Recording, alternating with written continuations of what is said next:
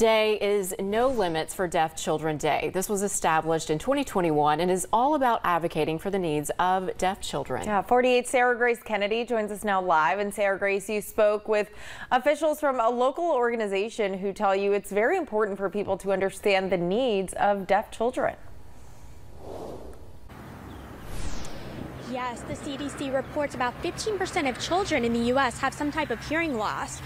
Children of the Huntsville, Alabama Institute for the Deaf and Blind show that there are really no limits in the face of struggles. The AIDB provides many services to deaf children. Today, advocating and providing awareness about deaf culture in the community is at the forefront. The regional center here in Huntsville serves around 50 children. It's 1 in 10 in Alabama. In total, the centers serve more than 1,700 people. Helen Keller, the famous blind and deaf woman born in Tuscumbia, is still an inspiration. And she shows everyone that she could do it. You know, if Helen Keller can do it, then we can do it too. And so she shows, you know, she fought to dismantle barriers um, through college and beyond for the rest of her life.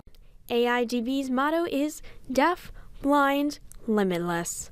Kathleen Ryan McDonald, the director of Huntsville Regional Center, says today is not really one day for us to spread awareness, it's every day. One of the biggest struggles is access to language.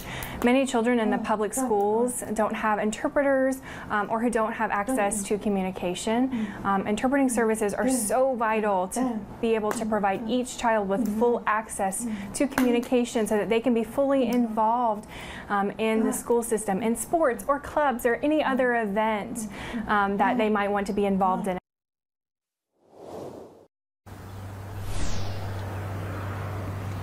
This day was created to remind people that the future of deaf children have no limits. Live in Huntsville, Sarah Grace Kennedy, 48 on your side.